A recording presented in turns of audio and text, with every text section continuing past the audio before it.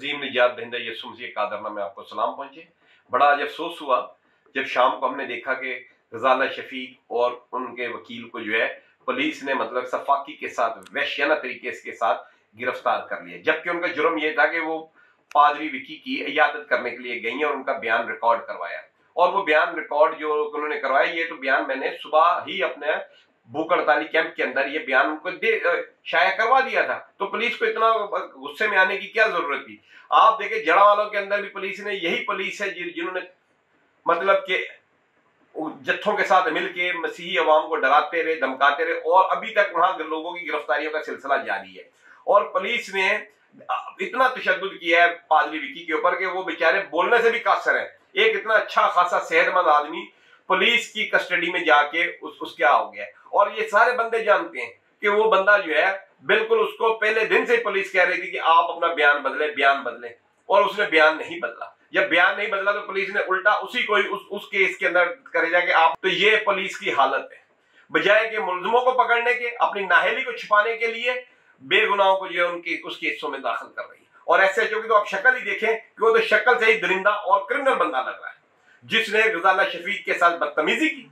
मैं समझता हूँ, ये पंजाब पुलिस का हाल है कि उनको शर्म नहीं आई कि औरत के साथ किस तरह बात करनी है, औरत के साथ किस तरीके से अपना रवैया रखने का एटीट्यूड देखें।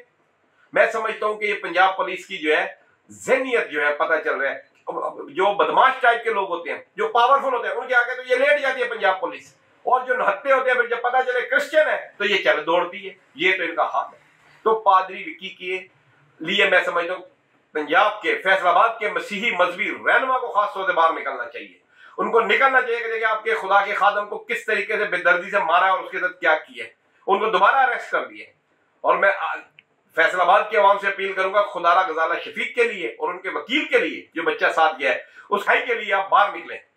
क्योंकि ये आपकी ज़िम्मेदारी है मजहबी। वो आप लोगों के लिए वहाँ गई है। ये आपकी ज़िम्मेदारी है। इसके लिए आपको जितनी जिस किस्म की कुर्बानी देना पड़ती है, दें। क्योंकि कौमें जब तक कुर्बानी नहीं देंगी तो कौमें बनती नहीं है। किसी सोए हुए को जगाना हो तो उसके ऊपर पानी की छीटें फेंकनी पड़ती हैं। तो आपसे इल्तिजा करता हूँ कि खुदारा, ये पंजाब पुलिस जो है खास तौर से फैसलाबाद की पुलिस झड़ावाल की पुलिस, ये मसीहों के साथ इंतहाई दर्जे से जो है, नारवा सलूक कर रही है। और गजाला शफीक जो कि एक औरत थी, एक खादमा थी, उसके साथ इसका रवैया क्या है? होना तो ये फैसलाबाद बार वालों को भी चाहिए बाहर आना, क्योंकि वो वकील था।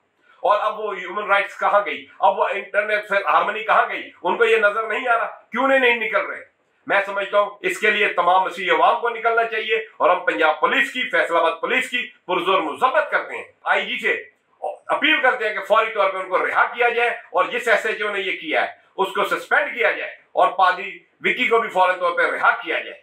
ये ड्रामे ना करें, जड़ा वालों के केस को हटाने के लिए आप ये मुख्तलिफ़ तरीकों की ऐसी हरकतें कर रहे हैं, जो कि नाकाबले बर्दाश्त हैं। शुक्रिया।